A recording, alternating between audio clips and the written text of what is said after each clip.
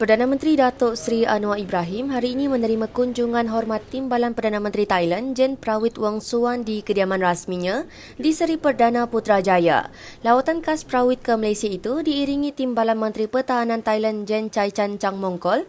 Ketibaan Prawit dan delegasinya di Seri Perdana kira-kira 12 hari itu disambut Anwar bersama Menteri Pertahanan Datuk Seri Muhammad Hassan dan Menteri Dalam Negeri Datuk Seri Saifuddin Nasution Ismail.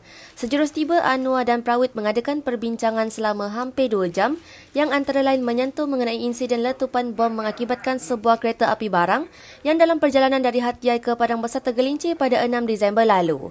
Usai perbincangan terbabit, Anwar meraihkan Prawit dan delegasinya dalam majlis makan tengah hari sebelum timbalan Perdana Menteri Thailand itu berlepas pulang ke Thailand petang ini. Prawit dan delegasinya tiba di lapangan terbang Sultan Abdul Aziz Shah, Subang pada 11 pagi tadi bagi sesi lawatan khas sehari ke Malaysia. Kunjungan yang antara lain bertujuan bertujuan memperkukuh hubungan dua hala kedua-dua negara serta bertukar pandangan dan perkongsian maklumat bagi kebaikan serantau itu adalah kunjungan kedua Prawit ke Malaysia sejak pintu sempadan negara dibuka semula pada April lalu. Malaysia dan Thailand telah menjalin hubungan diplomatik selama 65 tahun sejak Malaysia mencapai kemerdekaan pada 1957.